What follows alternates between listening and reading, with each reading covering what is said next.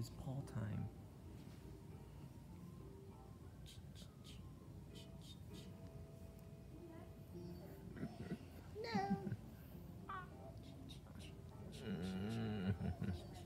He doesn't like that.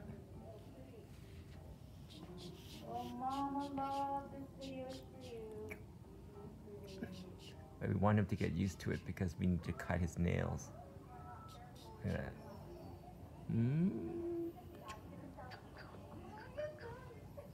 Okay, go to sleep.